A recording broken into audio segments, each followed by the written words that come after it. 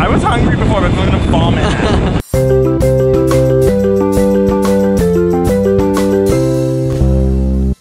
and welcome to the lab where we take your questions and turn them into experiments. My name is Mitch. And I'm Greg, and today we're gonna be conquering one of our greatest fears, which is the fear of heights. Specifically, we're going to be climbing one of the tallest freestanding structures in the Western Hemisphere and finding out what would happen if we fall off. The fear of heights is also known as acrophobia, and the symptoms include dizziness, nausea, shaking. So we're gonna test these things on ourselves by going up the CN Tower, going outside of it, and walking around the edge. The CN Tower is an iconic part of Toronto's skyline and stands at 553 meters high. It's also Drake's favorite chair. The long pointy antenna portion was actually made up of 26 pieces, each which were brought up by a helicopter. But where we'll be completing the edge walk is on the top of the main pod, which is 356 meters above the ground and is the highest external walk of a building in the world. For reference, it would be like stacking the White House on top of itself approximately 17 times and then walking around on top.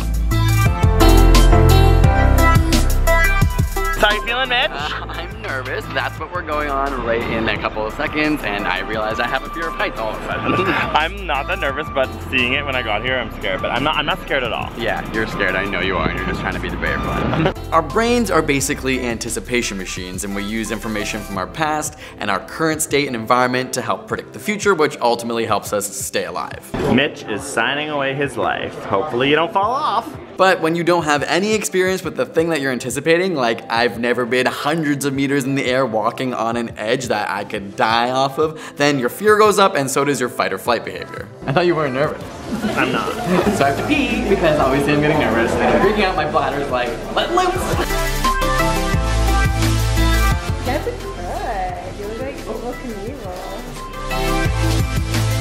A lot of our fears stem out of learned experiences or traumatic events that have happened to us, but the fear of heights is said to be much more common in people, and it's actually something that we're born with. When the, we go up in the elevators when I'm gonna freak I don't feel any fear, actually. I honestly don't, because it just feels like I'm just wearing a cool suit.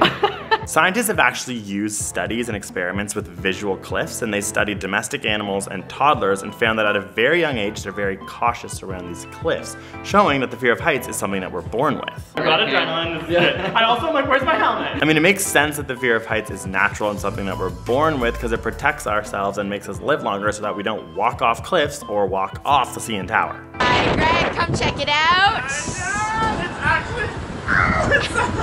I'm shaking now and I'm feeling kind of like sick and that is crazy. Can hold 15 and a half thousand pounds, so we're hoping that we're fine. How's it going? The third, yep, right there. Push your rope all the way out in front of you and then lean forward into that rope. Keep going all the way forward. Excellent. And then you can let go. Awesome job, Mitch. All right, yeah, go up on your toes. Excellent.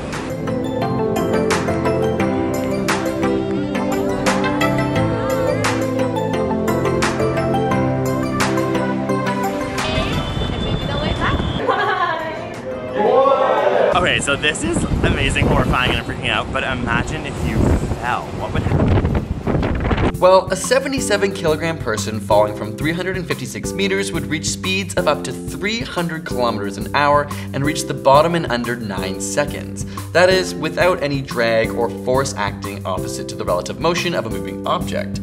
Top terminal velocities for human skydivers are lower because of air resistance, around 195 kilometers an hour when facing stomach to earth, and they don't reach this speed until around 12 seconds or after traveling 450 meters. Either way, it wouldn't take long to hit the bottom. It's no surprise that you likely wouldn't survive this fall, though some humans have lived to tell the tale after falling from very high heights. In fact, there's actually been reports of people falling from over 5,000 meters, mostly during the war, so out of burning airplanes, but they landed on pine trees or soft snow or glass roofs, and they also had a lot of injuries. It ultimately depends on if the surface you land on has high deformity like snow, then your chances for survival increase. Okay, I feel less less dizzy and scared now. Yeah, I feel more confident that we've had some time to spend just staring. Kind of becomes normal after a while. yeah, now I'm like, what's that? What's that? But every time I have to go on the edge, I'm still I know. in genuine fear. and But it's it was, the toes over the edge. Yeah. That makes me want to throw up. it was a crazy experience, but super cool. We're so glad we did it. Conquered a fear. Job, Greg. Well done, Thank Mitch. you.